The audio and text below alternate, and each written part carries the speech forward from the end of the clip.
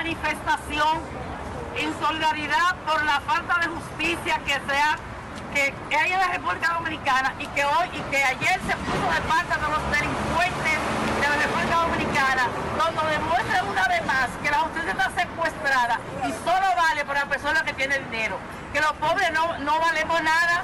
En la República Dominicana los feminicidios nada se condena, depende de la clase social que sea. La señora Marley Martínez y Marlon Martínez, su hijo, para nosotros son dos delincuentes, dos culpables que le tocaba 30 años cada uno, pero como un ejemplo político de la clase sinvergüenza de la República Dominicana, prácticamente Marley va a salir libre y no, y no dudamos que el hijo también. Apreciamos el pueblo dominicano de ser un pueblo religioso, católico, y como cristianos creemos en ese Jesús que vino a dar vida, pero vida en abundancia. Queremos ese Jesús que luchó y murió por nosotros y por la justicia. Por eso exigimos, exigimos que se haga justicia a esa familia, a esa joven, que como han dicho los compañeros, tuvieron ocho días, como si fuera, no fuera un ser humano.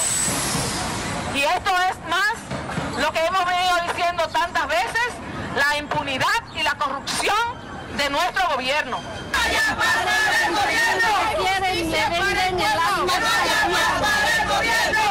Estamos indignados. Edith Febles, la cosa como es. Bueno, muchísimas gracias a José González desde Nueva York que nos enviaba estas imágenes. Así comenzamos la jornada en este día. Buenos días para todos ustedes. Para mí es un placer, es un gusto acompañarles a partir de esta hora en la cosa como es y que ustedes nos permitan estar en sus hogares. Estamos a través de Teleradio América 4512, dependiendo su señal de cable. Por supuesto, también estamos en nuestro canal de YouTube. Ya la gente se está sumando ahí y comenta el contenido. Gracias a tantísima gente desde los más eh, lugares que cada día entran y participan. Eh, las imágenes, como les comentaba, es una pequeña protesta organizada en el día de ayer al Fragor, conociéndose la decisión de un tribunal, eh, la Corte de Apelación, que decidió reducir la pena contra Marlene Martínez, esa ex viceministra de Pasaportes, Política, una mujer de mucha influencia y que mm, al parecer tiene un lastre de daño impune, conforme a los datos que podemos disponer. Eh, cuyo hijo fue condenado a 30 años, condena que fue ratificada, pero en el caso de ella de 5 bajó a 2. Y la gente esperaba todo lo contrario, esperaba que se incrementara, de modo que ese malestar que se percibe en las redes sociales, que usted lo ve en los comentarios de la gente, también llega, por supuesto, a la comunidad dominicana muy activa en los Estados Unidos, gente que siempre está eh, participando de lo que pasa aquí. Ellos se reunieron en la plazoleta Juan Pablo Duarte en el día de ayer en Manhattan, así que gracias a todos los que estuvieron y los que eh, nos hicieron partícipes de esto. Hoy tenemos un programa variado, hoy es viernes, eh, quiero hablarles de una fiesta que hay, que es una fiesta con Wilfrido Vargas, una fiesta gratis para el día 30. Vamos a celebrar la libertad de este país, el día 30. Los amigos del Museo Memorial de la Resistencia le están organizando, eh, se va a comer chivo. Ustedes recuerdan ese tema que mataron al chivo en la carretera. Bueno, pues mataron al chivo. Ese día se va a comer chivo. Entonces Luisa de Peña, que es la directora del Museo Memorial de la Resistencia, viene a contarnos sobre la fiesta de la libertad, que tiene incluso su página en redes sociales.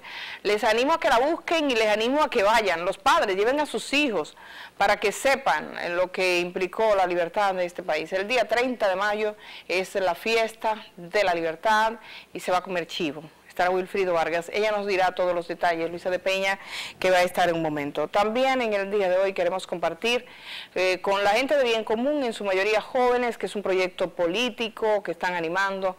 Ellos dicen, quieren participar en la política dominicana desde otra perspectiva, sobre todo hastiados, como comentan, de la corrupción y de la impunidad.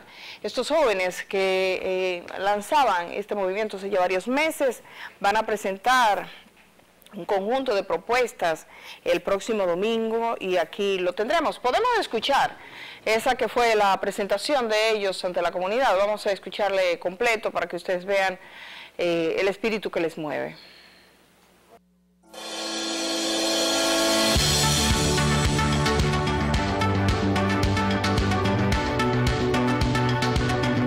Elegir la esperanza es también un acto de resistencia Y es el lugar desde el cual hoy nosotras y nosotros nos paramos aquí frente a ustedes para invitarles a unir nuestra voluntad y nuestros corazones con una sola apuesta, ser el cambio que queremos ver.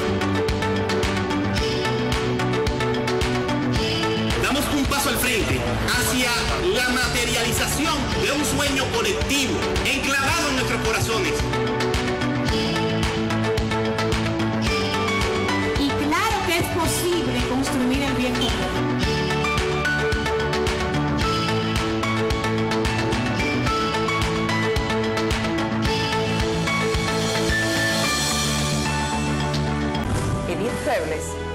la cosa como es.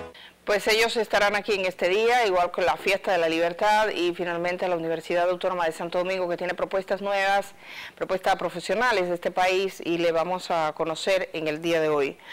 Eh, me pregunta alguien que por qué la protesta, parece que llegaba un poquito tarde. La protesta en Nueva York era por la sentencia que exoneraba aún más de responsabilidad a Marlene Martínez en el asesinato de Emily Peguero. Le dejaba solo con dos años, quiere decir esto, que en cuatro meses Marlene podría estar en las calles de Dominicana como una mujer libre. Mucha gente no está conforme con eso. Voy a ir a la pausa en este momento y cuando regrese ya seguimos con otros contenidos. Gracias a todos los que están en sintonía y por supuesto mis saludos a toda la gente que está a través de nuestro canal de YouTube y que participa de ese chat en vivo.